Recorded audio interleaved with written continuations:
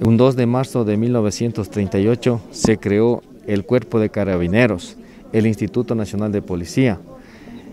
Y en 1990 se crea la Escuela Superior de Policía. Justamente estamos recordando el, el nacimiento de la institución policial, la profesionalización de nuestra Policía Nacional. Y aquí, en, el, en la parroquia de Tanicuchí, donde fue eh, donde nació nuestro patrono, el general Alberto Enríquez Gallo. Yo creo que es un acto relevante para nosotros como tanicuchenses, en vista de que el general Alberto Enríquez Gallo es nativo de aquí, sus valores, su conocimiento, su lealtad hacia su pueblo, yo creo que es digno de felicitar Esperemos eh, conseguir esas mismas ideales, esos mismos atributos, nosotros como gobierno parroquial, enfrentarnos a una planificación en beneficio de nuestro pueblo. Realmente no pensé eh, esta ceremonia que hubiera sido tan, tan gratificante.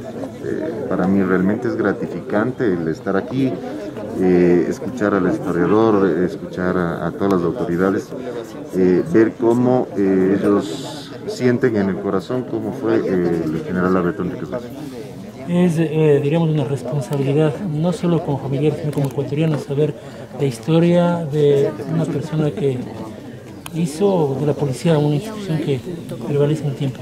Por supuesto, para todos los ecuatorianos realmente debería ser un orgullo que un ecuatoriano que haya salido de una ciudad tan, tan de un sitio tan humilde, eh, haber eh, sido la persona que llegó a conformar tantas instituciones eh, que hasta ahora están vigentes.